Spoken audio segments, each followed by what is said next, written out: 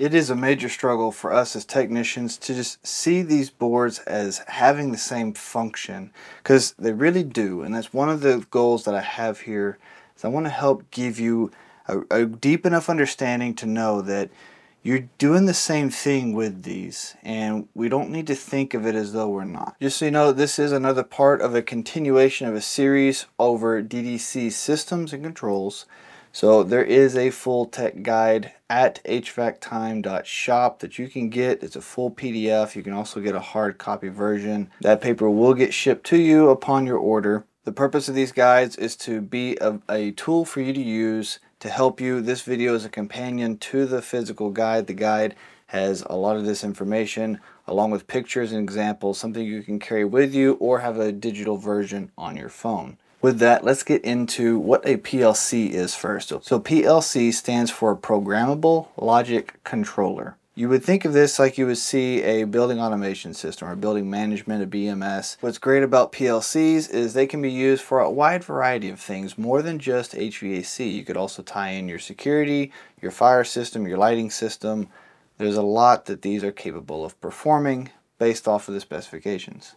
Because this system is so modular, it really helps make it a viable option for a building-wide system. Now there's one major thing that separates the PLC from an OEM board, and that comes down to it's field programmable. It is fully customizable up to the skill level of the technician programming it in the system he is using. Let's discuss a little more about an OEM board. In the examples we're talking about here, I'm going to really focus in on the HVAC side of this. And this is really just an HVAC equipment board. This particular one is out of a VRF system. Now this is a very purpose-built board. It is specifically designed for what it's being used for and why it's being used. But that doesn't mean that it's not going to be used in multiple types of systems.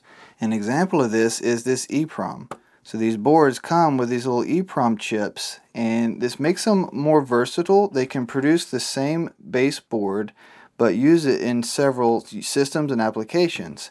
And the EEPROM is doing just a very simple programming in terms of letting the system know that hey you are this tonnage with this configuration of compressors and pipes and such. It is assisting the microprocessor in knowing how it needs to respond to the system it's installed in. One thing that's great about the EEPROM style of things is if you have a system, say you've got two VRFs on a roof that are uh, that have a bad board in one of them, and maybe they're different tonnages and sizes altogether, but when you look at the base board, the base board is the same exact part number between the two.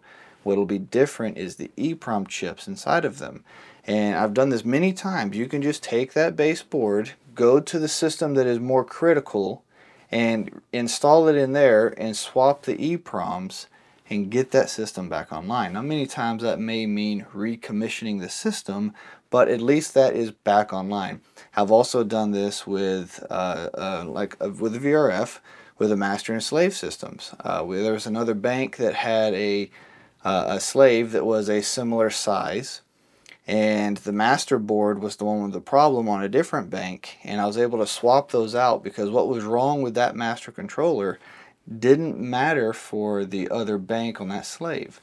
And so by swapping those, there's still that other board still has a problem, but that unit's not going to see it. And it gives me a good board and I could immediately get the customer resolution where typically that's a board we have to then order and it may be a few weeks before we can get the parts in, get it installed, and get them back online. The instructions for these boards is known as a logic sequence, and that is what the whether it be the manufacturer or the field technician is putting together.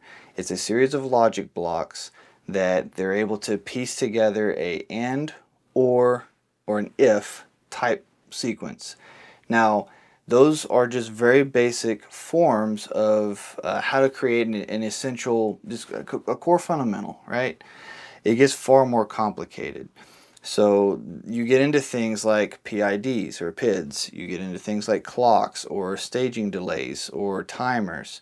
So the logic sequence does get very complex depending on what it is you're trying to control and just how deep that control goes. Ultimately, the bare bones of what logic is trying to do is it has a set point and its objective is to satisfy that set point and it's going to look at the inputs coming into the logic, whatever it's programmed for, and then it's going to manipulate the outputs so that it, in, it gets the inputs closer to the set point they've been given. This core function doesn't matter if it's an OEM or a PLC. We're using the same type of logic to accomplish that task and they're functioning in the identical way. Now logic sequences is something that I will be covering in more depth. I have a program called GFX, something that Distech offers that I, I can, I'm going to go in and we're going to do a more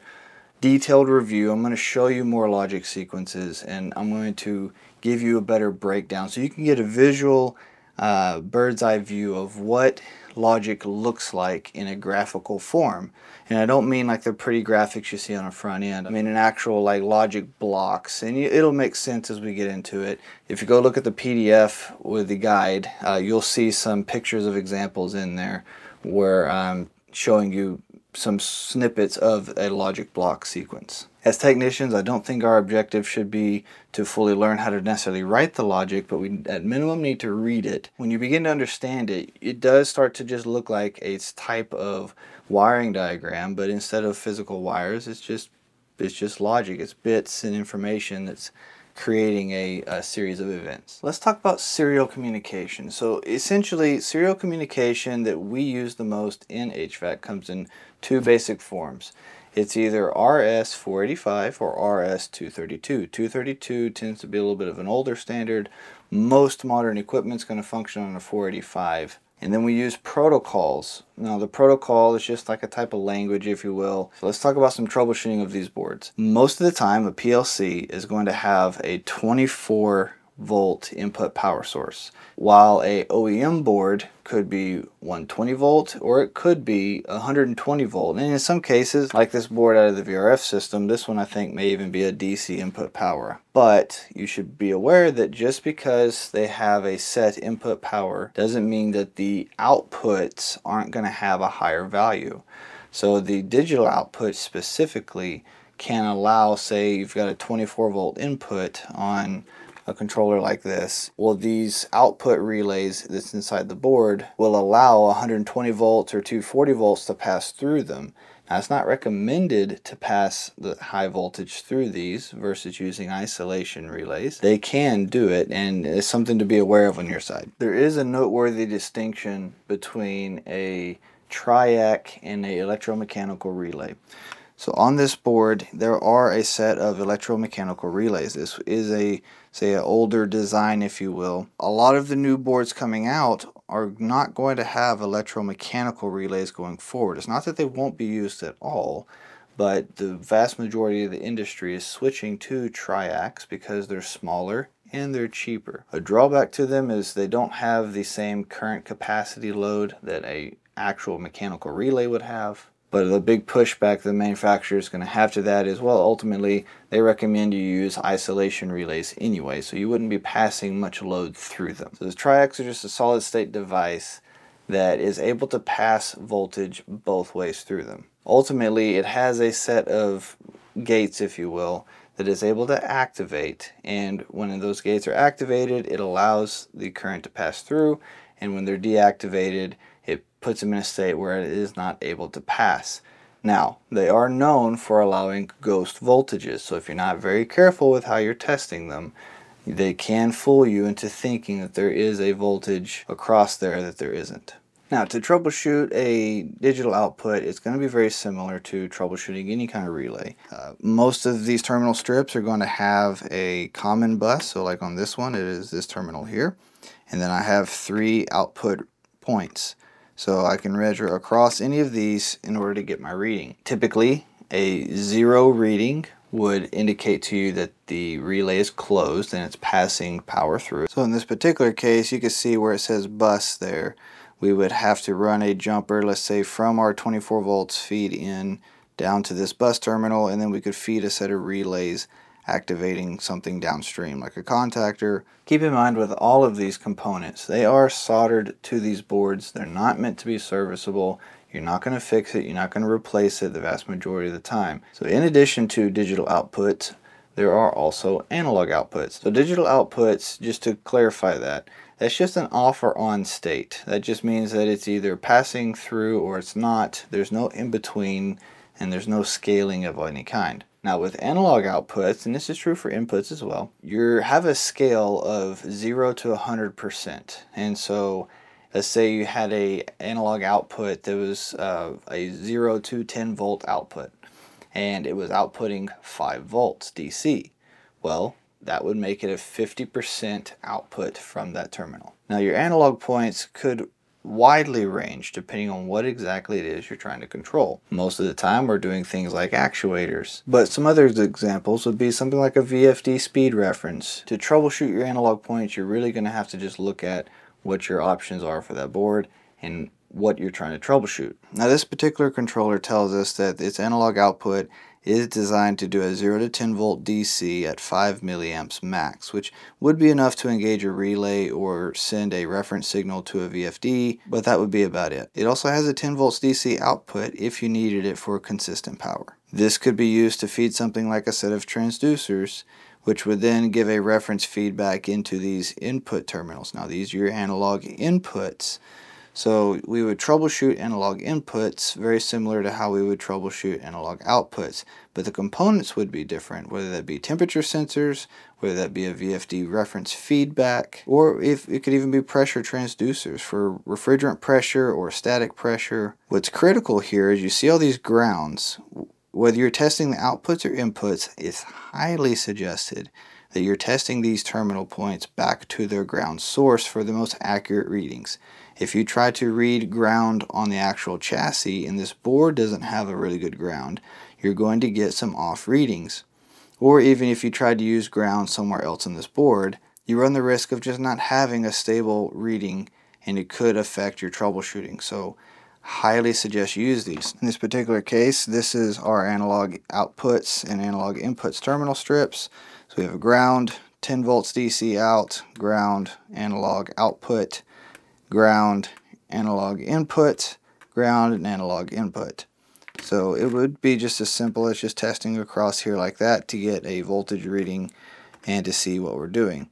Now one fun fact, in addition to just analog outputs or inputs, sometimes you see a U for universal input or output on a control board. It is there to just serve as an either or. It can serve as a digital point and it can serve as an analog point. You can also convert a analog output to be functioning as a binary point or as a digital point meaning that instead of it having a scale, you could just have that analog go straight from 0 to 100% as its you know scaling option and that would effectively convert it into a but a digital output because we wouldn't be using the scale even though it's theoretically a analog output. When it comes down to it, I always start with verifying my power to my boards and my communication. Anytime I'm trying to figure out or I'm worried about there's a there's a problem or a system I'm trying to troubleshoot, whether it be an OEM board or a PLC style board, you'd be surprised how many times I've walked up to a unit and I'm just not even getting power to it. Or I'm working with another technician on a tech support service and we've even gone as far as replacing boards before they realized the transformer was never outputting. And that was on an OEM board, so it was less obvious. But this particular system had multiple layers of transformers and several boards in it and ended up being one of those transformers that controlled one particular board in that cabinet had failed and it sounds simple and it sounds silly but when you're walking up, if the first thing you do is go straight to troubleshooting the I.O. points, it is very, very easy to completely miss that there's not even power to the board to begin with, especially when those boards do not have any kind of an LED indicator. So for example, my input power is here. That's fairly easy to test, but I also have a set of communication terminals right here. And just below those, there is two LEDs to indicate TX and RX that is transmit and receive. And in short, those lights should be flashing erratically and without any true pattern, I would say. Now you could also look at this with your meter and depending on the meter that you have will depend on how well you can register that. Some meters don't give a live feed to their display. Most of the Flukes that I'm aware of don't do that. They give you a average reading on the display itself. Well what that means is that when you go to test communication what you're looking for is you're going to set your meter to DC volts and you're going to see the output screen of the meter is going to just fluctuate very erratically and that's that's a good sign. That means that there is data passing back and forth and the COM bus is trying to communicate and function. If you put your meter on there and it doesn't do anything at all and it's just solid unless it's a problem with your meter it's very likely that the COM bus is not communicating properly which may be a part of your issue so if you've got outputs that aren't triggering or the, the control board is not doing what you want it to, it's got to have communication back to the main system because that system's going to tell it, for example, when it's supposed to be occupied, when what it's supposed to be doing and when. So if you do have the LEDs to help you, if they're just on solid or if they're flashing or if they're just not even on at all, then there's a pretty good indication that you've got a communication problem.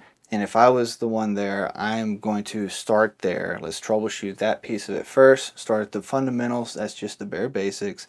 Then we can get into more in-depth problems later. And one major tip that I have for you is if you have it available, use the front end or the HMI. Now HMI is human interface for any kind of equipment. It's just the, the control panel you walk up to and you push buttons and it gives you readings.